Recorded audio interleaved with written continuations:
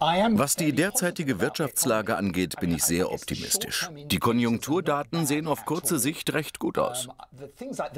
Unsere Zeitgeistthemen sind lukrative Anlagemöglichkeiten und auch der Ölpreis erholt sich wieder. Die Schuldenlast bereitet mir ein bisschen Sorge, aber ich glaube, sie ist nicht schwer genug, um alles auszubremsen. Ich bin ein bisschen vorsichtiger als du, Giles. Der US-Markt erwartet im dritten Quartal einen leichten Anstieg, aber für das vierte Quartal wurden die Vorhersagen schon nach unten korrigiert. Der IMF setzt für dieses Jahr die weltweite Wachstumsprognose um 0,6 Prozent herab. Der Welthandel hat um nicht einmal 2% zugenommen und ist dramatisch zurückgegangen. Das ist momentan ein Grund zur Sorge, dass das Wachstum des Welthandels sich deutlich verlangsamt hat. Ich glaube, da findet gerade ein großer Wandel statt. Chinas Wirtschaft orientiert sich immer mehr an einem nachfragegetriebenen Wachstum. Und die Wertschöpfungskette ist auf der ganzen Welt verteilt. Aber das ist normal für eine Phase der Veränderung und bereitet mir wenig Sorgen.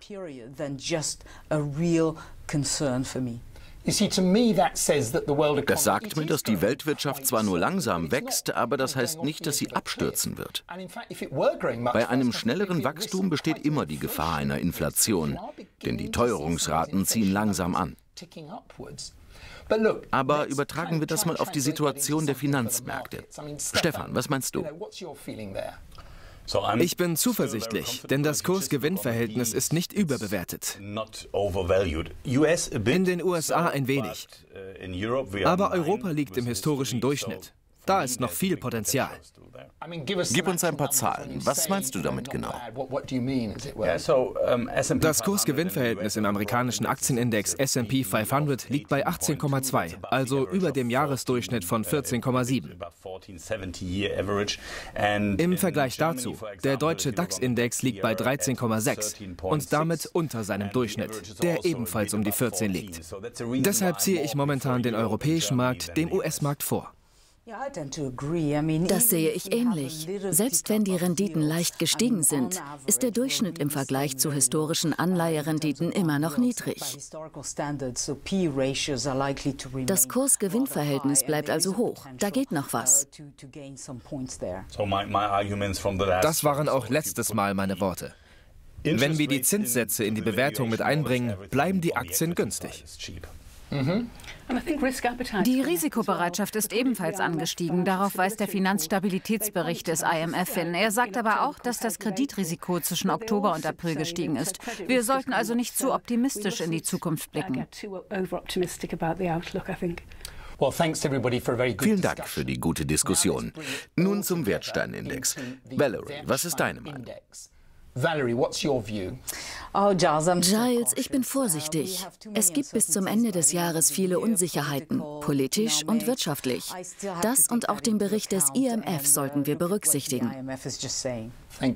Danke, das verstehe ich. Stefan? Wenn die Unsicherheiten vorbei sind, ist der Markt schon um 20 Prozent gestiegen. Ich bin also sehr optimistisch, zumal statistisch gesehen der Aktienkurs im vierten Quartal steigt. Aber manchmal singt er auch. Christine? Ich stimme Valerie zu. Ich bin nicht so optimistisch wie Stefan. Es gibt zu viele Unsicherheiten. Die US-Wahlen stehen bevor Probleme in Europa und der Brexit drückt auf die Stimmung. Mittelfristig bin auch ich optimistisch, aber wir müssen erst die nächsten ein, zwei Monate überstehen. Nicht nur wegen den Wahlen, sondern auch, weil die US-Notenbank beginnt, die Zinsen zu erhöhen. Okay, fassen wir zusammen. Valerie, deine Abstimmung eine Zahl zwischen 0 und 10. 0 ist eher vorsichtig, 10 optimistisch.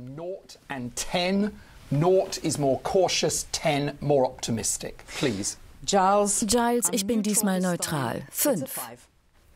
Danke. Stefan? Ich erwarte eine Jahresendrallye. Neun. Puh, ziemlich hoch. Ich bin vorsichtig, aber weniger als letzten Monat. Vier. Also Danke. Ich stimme auch mit einer 4 wie beim letzten Mal. Das macht einen Wertsteinindex von 22, also ein bisschen höher als die 19 vom letzten Mal. Aber er ist noch weit entfernt vom Maximum von 40 the possible maximum of 40.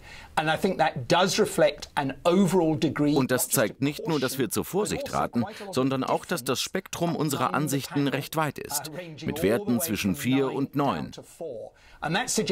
Das lässt den Schluss zu, dass selbst wenn sich der Markt mittelfristig entspannen wird, es kurzfristig zu einigen Börsenturbulenzen kommen könnte. Wir sind gespannt auf den Wertsteinindex im nächsten Monat.